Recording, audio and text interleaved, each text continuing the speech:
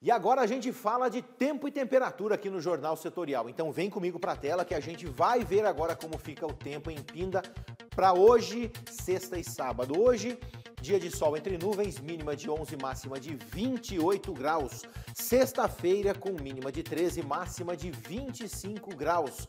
Já no sábado, cai um pouco a mínima, mínima de 8, máxima de 23 graus. Dias de sol com nuvens em Pindamonhangaba e sem previsão de chuva, tá?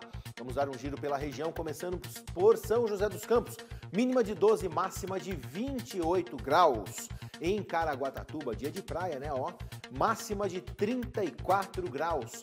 Já em Campos do Jordão, mínima de 9, máxima de 21 graus. E terminando o nosso giro em Ubatuba, mínima de 16, máxima de 24 graus em todas essas cidades, 5% de previsão de chuva hoje à tarde.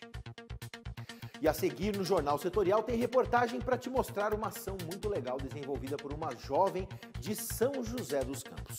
Ela ensina confeitaria utilizando a linguagem brasileira de sinais e isso, claro, tem ajudado bastante gente com deficiência auditiva.